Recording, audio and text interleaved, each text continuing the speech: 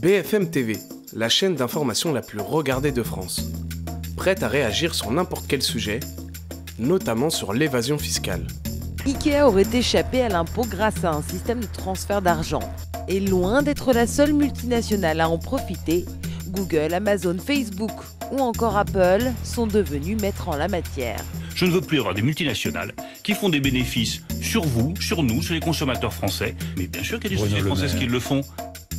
Et si nous vous disions que BFM TV est une chaîne d'information créée avec de l'argent qui provient d'évasion fiscale Nous allons vous révéler comment la chaîne d'information la plus regardée de France s'est construite sur de l'argent qui encore aujourd'hui s'envole vers des paradis fiscaux et comment les autorités financières françaises tardent à prendre la mesure du problème.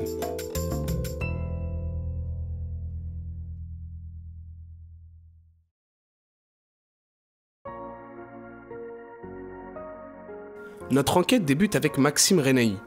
En 2007, il est administrateur de fonds pour un cabinet d'avocats de gestion financière.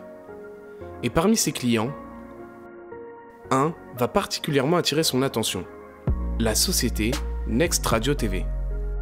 Une société fondée par Alain Veil, qui détient des médias comme les radios RMC et BFM Business, la chaîne de télé BFM TV ou encore le magazine 01net. Alors en 2007, effectivement, je travaille pour un gros cabinet d'avocats de Jersey qui s'appelle Mouan Limited et j'ai un portefeuille de clients. Dans ce portefeuille de clients, j'ai un, fonds qui s'appelle APF3 qui a été mis en place par des Français et ce fonds détient euh, des actions dans une société qui s'appelle Next Radio TV qui détient elle-même BFM TV et RMC. Donc en fait, ce qu'il faut voir, c'est que le développement de BFM TV de Next Radio TV a été permis grâce à de l'argent qui a été injecté depuis les paradis fiscaux, depuis Jersey. Et sans cet argent-là, euh, de façon assez importante, euh, BFM TV n'aurait jamais pu se développer. La preuve de ce qu'avance Maxime, la voici. Un document interne exclusif qui témoigne que Next Radio TV est bel et bien possédé à 22% par un fonds offshore situé à Jersey. En 2009, selon ces documents, c'est 50 millions d'euros émanant de ce fonds offshore qui sont injectés dans le groupe Next Radio TV. Mais la chaîne n'est pas seulement financée par de l'argent issu d'un paradis fiscal. En gérant le portefeuille de cette société, Maxime se rend compte qu'une partie des bénéfices, issus de la chaîne de télé, vient garnir le fonds offshore. Le schéma est plutôt simple. L'argent de RMC et BFM TV par exemple est récupéré par la société mère, Next Radio TV. L'argent passe ensuite par une société aux Pays-Bas avant de s'envoler à Jersey, le paradis fiscal. En gros, c'est via ce schéma que remonte l'argent et donc qui devient non imposable. Voilà, donc imaginez euh, tout simplement qu'il y ait de, l'argent qui soit fait avec les pubs euh, RMC, BFM TV. Peu importe que Next Radio TV euh, soit bénéficiaire ou déficitaire, parce que de toute façon, le fonds d'investissement prête de l'argent de la dette. Donc la dette doit être remboursée, elle est prioritaire. Donc le remboursement de la dette se fait bien avec les, profits qui sont faits de la pub. Tous les ans, le remboursement se fait en passant par la société, le groupe français, ensuite la société aux Pays-Bas vers Jersey. Voilà, tout ça n'est pas taxé puisque c'est un remboursement de dette. Comment Next Radio TV arrive à remonter de l'argent sans que cela n'éveille la curiosité des autorités financières? En fait, la société et le fonds offshore utiliseraient ce qu'on appelle un prêt participatif. Comment cela fonctionne? Pour répondre à cette question, nous sommes allés voir Vincent Drezet, secrétaire national du syndicat solidaire Finances publiques. le prêt participatif, comme son nom l'indique, c'est un prêt. C'est-à-dire que des personnes vont donner à d'autres personnes de l'argent moyennant intérêt dans le but de financer un projet. C'est quelque chose qu'on appelle crowdfunding hein, qui, se, qui se développe. Et euh, dans l'idée, c'est relativement généreux. Ça permet de ne pas dépendre des banques d'une certaine manière pour monter un projet. Ah mais c'est génial ça Le prêt participatif est donc une solution alternative aux banques et au surendettement. Simplement, parfois, on assiste à un développement d'une activité bancaire un peu en parallèle qui peut être utilisée pour deux choses, le blanchiment et euh, la fraude fiscale. Ah, là c'est moins cool. À la base, c'est pas censé aider les petites et moyennes entreprises? Comment ça se fait?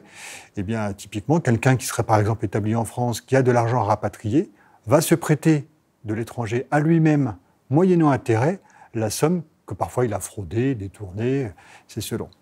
Et lorsqu'il verse des intérêts à lui-même en quelque sorte, ou à une entité qui lui appartient à l'étranger, il va déduire son intérêt du bénéfice qui sera imposable à l'impôt sur les sociétés en France. Donc dans le prêt participatif, il y a quelque chose d'assez sympa et généreux, mais malheureusement, ça peut être aussi utilisé à des fins de blanchiment et de fraude fiscale. On récapitule. Pour envoyer de l'argent vers Jersey, le fonds offshore va donc accorder un prêt participatif à la société Next Radio TV. Et Next Radio TV va donc devoir rembourser, mais avec des intérêts. Et ce sont ces intérêts que nos sociétés cherchent à rendre non imposables. De sa création dans les années 2000 à 2015, la société va ainsi renvoyer une bonne partie de l'argent qu'elle génère à Jersey. Et ça ne s'arrête pas là, au contraire. En 2015, Alain Veil va accueillir un nouveau partenaire. Patrick Drahi, milliardaire, qui possède le groupe Altis. L'homme d'affaires acquiert 49% du groupe en juillet 2015, avant de racheter l'ensemble du capital de Next Radio TV en 2018. Alain Veil, lui, ne quitte pas le groupe pour autant. Il devient le PDG d'Altis Europe aux Pays-Bas. Avec l'arrivée de Patrick Drahi, exit le fonds offshore de Jersey. Désormais, direction un autre paradis fiscal pour les bénéfices du groupe, le Luxembourg. Alors je ne vais pas rentrer trop dans les détails parce que c'est extrêmement complexe, mais on va garder la substance en restant le plus précis possible. Donc toujours en bas, évidemment, on a BFM TV avec RMC. Alors il y en a plein d'autres, hein. il y a du groupe BFM. Donc cette partie-là, elle n'a pas changé. Ce qui a changé maintenant, c'est que c'est Altis France, donc SFR, qui détient majoritairement les actions des, sociétés en dessous. Qui est le groupe de Patrick Drahi. Voilà, c'est ça, le, groupe de Patrick Drahi. Et au-dessus de ces sociétés en France, tout d'un coup, on, va avoir euh, à peu près euh, pas loin d'une dizaine de sociétés luxembourgeoises qui font monter l'argent. Un montage complexe, avec pas moins de 11 sociétés, avant d'arriver à Patrick Drahi. Avec son groupe Altis, le milliardaire devient un des grands Manitou des médias. En plus de BFM TV et des radios RMC et BFM Business, le groupe Altis compte dans ses rangs le journal Libération, le magazine L'Express, ainsi que les chaînes de télé RMC Sport et RMC Découverte. Tous ces médias voient leurs bénéfices transférés en grande partie vers le Luxembourg. Selon nos informations, pour Next Radio TV, Patrick Drahi a accordé un prêt participatif de 339 millions d'euros. Et en 2017, via le remboursement de ce prêt, c'est près de 36 millions d'euros qui s'envolent vers le Luxembourg et qui deviennent non imposables. Et ce, alors même que la société est déficitaire. Et en plus du prêt participatif, le milliardaire met en place un autre système pour son groupe SFR Press.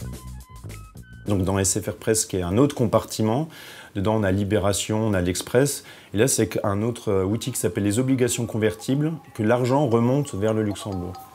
Ah, un nouveau terme, les obligations convertibles. Vincent On va prendre un exemple d'une société établie en France qui émet des obligations. Quand on émet des, obligations, eh bien, bénéficie de l'argent, mais la personne qui détient l'obligation perçoit des intérêts. On a en réalité la situation suivante, c'est qu'en France, la société qui émet des obligations déduit de son bénéfice les intérêts qu'elle verse aux obligataires, mais ces obligataires, de l'autre côté de la frontière, sont vus comme des actionnaires qui sont exonérés sur les dividendes qu'ils perçoivent. Et on a en quelque sorte non seulement une double non-imposition, c'est-à-dire que rien n'est imposé nulle part, mais en plus en France, on déduit du bénéfice imposable des intérêts à tort. les produits hybrides ont été ciblés par l'OCDE comme des produits sur lesquels il y avait à la fois de l'optimisation fiscale agressive, mais aussi de la fraude fiscale. On vous l'a fait en plus simple. En gros, via le système d'obligations convertibles, Patrick Drahi injecte de l'argent dans le groupe SFR Press qu'il possède et le récupère au Luxembourg avec des intérêts qui sont devenus non imposables en France. Selon nos informations, Patrick Drahi a injecté plus de 410 millions d'euros dans le groupe SFR Press via ce système. De l'argent qu'il compte récupérer donc avec des intérêts sur lesquels sa société ne paiera pas d'impôts. Sollicité pour une interview, ni Patrick Drahi, ni Alain Veil n'ont répondu à nos demandes. Mais que font les autorités financières pour lutter contre cette évasion fiscale? Ce qu'on ne vous a pas dévoilé sur Maxime, c'est qu'il a également collaboré avec la DGSE, les services secrets français. Le but de notre espion, justement, lutter contre l'évasion fiscale. Donc la DNEF, donc la Direction nationale des enquêtes financières, c'est un peu les services secrets de Bercy. Donc je suis allé les, voir, je leur ai donné des dossiers. Et euh, j'ai donc sur des clients, enfin sur des gens français, sur des multinationales, des milliardaires français. Et malheureusement, j'ai constaté que rien n'a été fait. Ce que je me rends compte assez vite, c'est qu'il n'y a pas de procédure en place. Euh, ça, ça m'a choqué. Il n'y a pas de procès verbal, il n'y a pas d'enregistrement. Quand on remet des informations comme ça à des fonctionnaires, je pensais qu'on allait avoir un procès verbal ou des informations qui seraient enregistrées. Ça n'a pas été le cas du tout. Euh, et ensuite, il n'y a pas eu de suivi de la part des fonctionnaires. J'ai pas eu d'email, j'ai pas eu. Donc moi, je les ai relancés, j'ai pas eu de réponse, j'ai rien eu du tout. Alors bon, j'ai ma petite théorie, elle vaut ce qu'elle vaut, c'est euh, quand un milliardaire français développe ses activités à l'étranger, euh, on le laisse tranquille parce qu'on considère que c'est bien pour le rayonnement de la France. Et je vois qu'il y a vraiment, euh, malheureusement, avec le verrou de Bercy, il y a toujours, même s'il a été aménagé, il y a toujours deux poids, deux mesures. Et ça, c'est quelque chose qui est, inacceptable. Contacté, la Direction nationale des enquêtes financières n'a pas souhaité répondre à nos questions, invoquant le secret fiscal. Mais alors, Patrick Drahi et BFM TV peuvent-ils être inquiétés par Bercy? Pas sûr. Sous couvert d'anonymat, un agent des finances publiques va accepter de nous parler. Nous, on s'est retrouvés face à des très hauts responsables du ministère à leur dire nous aussi, on a des informations, sans dire les noms, ça serait bien que les procédures aillent au bout. Parce que s'il y, a une révélation qu'on n'y est pas allé, ben, nous, on ne va pas pouvoir tenir le secret fiscal très longtemps face à un président de commission des finances, on peut rien. les problèmes viennent vraiment du politique, alors en fait, c'est vraiment. Quand il y a quelque chose, c'est politique. Parce qu'in fine, sur, euh, pas sur toutes les procédures, mais sur certaines, euh, notamment sur le côté euh, gracieux, fiscal et douanier, la compétence relève du ministre. La première chaîne info de France est donc détenue par un oligarque qui pratique l'évasion fiscale. Un système qui pose question sur le traitement médiatique et la déontologie journalistique. La lutte contre les paradis fiscaux porte ses fruits, ah nous dit euh, l'OCDE euh, Nicolas Dose. Donc, euh, c'est quoi le chiffre le plus important? Il y en a deux. Les dépôts bancaires, là, c'est assez impressionnant. Il y a deux chiffres importants.